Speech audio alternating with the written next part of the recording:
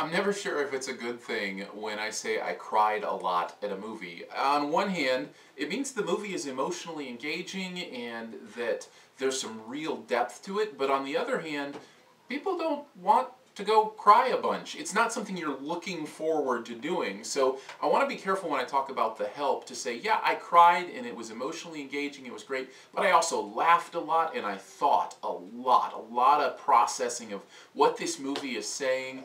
The movie The Help is a movie that will impact you. The impact it will have on you, I don't know. I can only tell you the impact it had on me. And let's say this right off the bat, it is a very well done movie. If I had one negative thing to say about it, uh, and we'll just get this right off the bat so we can move on to all the positives. The one negative thing is it is a little bit of a button pushing movie. Like you can almost feel in moments of the movie like, uh, I'm going to push your button right here. Okay, I know this will make you feel a certain way. But the truth of the matter is, sometimes buttons need to be pushed and the buttons are out there and I think the movie The Help uh, pushes them in a really good way. It's a movie about racism at its heart. Racism in Jackson, Mississippi uh, in the civil rights era, uh, so post-slavery, um, but still a lot of racism, kind of segregation, those kind of things going on. And it's a movie about the fact that many of these upscale white homes in the South still had black African American help uh, as far as maids or gardeners or those kind of things. And so that the racism and, and the, the stories of those people inform kind of how we feel about racism during that time. And I have to tell you, I don't feel good. I walk away from this movie going, really? Are we, are we capable of that? I mean, is that who we are as human beings, that we can treat other human beings in that way? And yes, that is who we are as human beings. I'd like to think we've moved on, but you know, think about it. This was 40 or 50 years ago.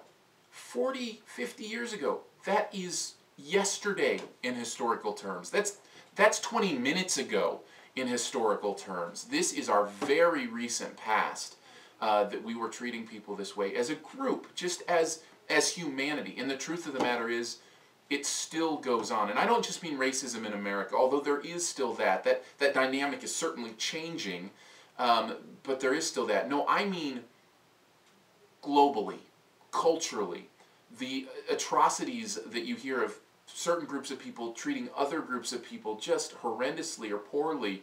Um, man, I just, I wish we could move beyond it, but I think it's part of our nature and who we are to group up and then pick on other groups. I see it in my kids at school. I have great kids, but you know what? They will pick on other kids and we try to teach them not to and uh, had a great moment actually just this week with one of my kids standing up for somebody who was being picked on. I was like, yes, let's move that direction.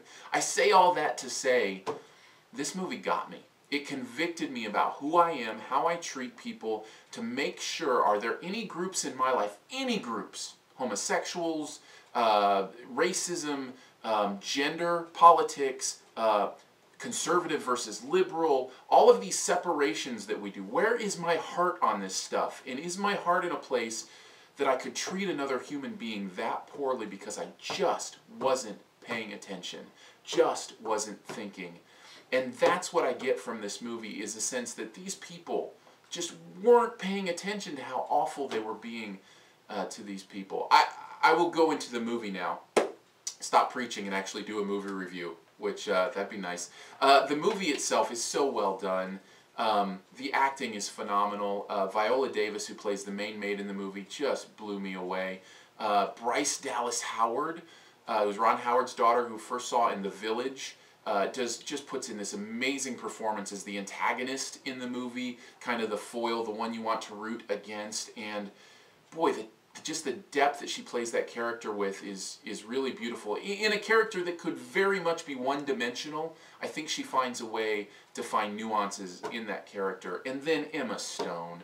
I have I have a new favorite actress. Emma Stone uh, floored me in this role because I've loved her in kind of those light comedy roles. She did a great job in a movie uh, called Easy A. Uh, she's been in other movies where she's just absolutely made me laugh. But she showed a, a, range in her acting skills in this movie that I actually didn't know she had, and uh, now I'm an even bigger Emma Stone fan. Uh, she is great in this movie, and all the surrounding performances uh, that are a little more minor are, are great.